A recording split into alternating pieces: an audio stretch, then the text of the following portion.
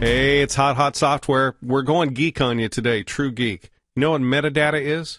Uh, metadata, well, if you're a geek, you know, but let me try and describe. Metadata is kind of like data about data. Uh, sometimes metadata describes what's in a file. It's kind of the dirty little secrets inside of a file, oftentimes in the file header that say what the file is all about. And oftentimes, as a programmer, you may need to get at that information in a hurry. And that's why this is so useful. Tell you what, let's just go here. You know how we roll.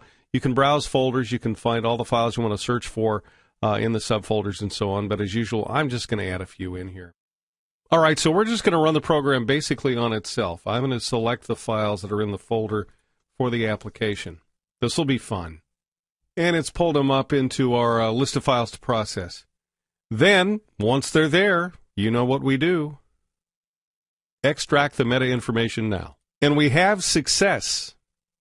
Now you can save the results as a text list, or you can open the results in uh, Excel. All right, let's try that out. Oh, look at that. Nice. A lot of geek going on there. All right, you want to know more about the software? You want to get it? Get to hothotsoftware.com. And thanks for watching us.